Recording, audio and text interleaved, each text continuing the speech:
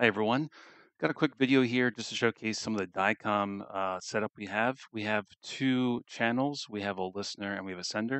And what we're trying to do here is we're basically trying to send DICOM uh, via TLS. So we want to encapsulate this, this DICOM message and make sure it's encrypted with uh, TLS. Um, and in order to do that, we have to have a different kind of setup because we have to use uh, a key store and a trust store in Mirth. Um, I'll go through that here in a second. But um, let's get into the channel. So I'm using Mirth Connect. And let's go to our listener. So on the listener side, I have a pretty basic default setup. I did change my um, data type to DICOM. We're doing DICOMs. And in the source, I have um, configured the following.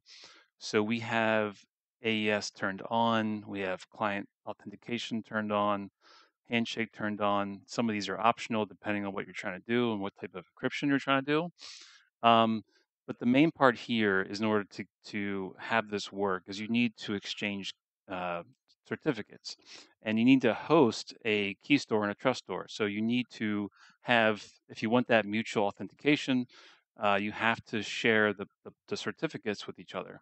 So if this was the listener, uh, I would have to get the sender's certificate and import them into my stores. Uh, of course, we have to share the passwords. Some of these are optional based on your settings here. Um, feel free to play with it, but the basic setup, um, this definitely works. Um, I'm listening on port 2002. You can change that port. It's really up to you. Uh, the rest of the settings are pretty much default.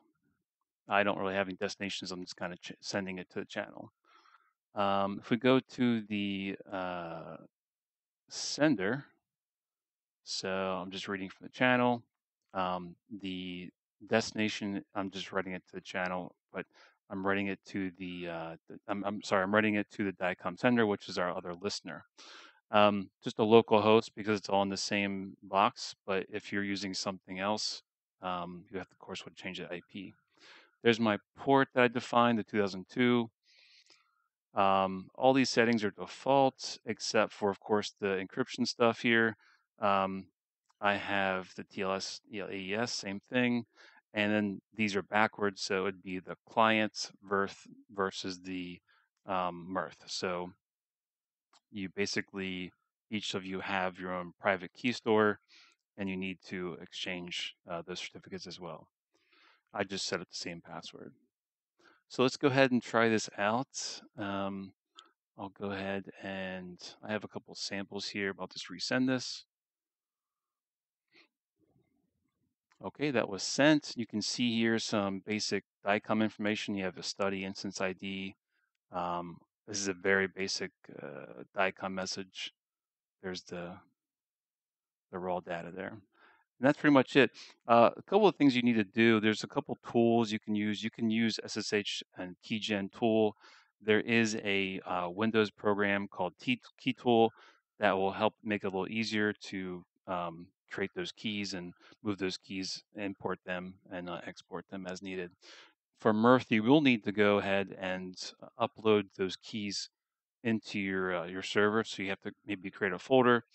Uh, that's what I did. I just created a folder under the Mirth Connect folder and app data, and then you can put your keys there. Just make sure that you uh, in the channel, you know, point them to the right folder. If you do get an error, that's probably the reason why is because Mirth can't um, find those keys. So you have to make sure that the path is actually correct. That's pretty much Thank you.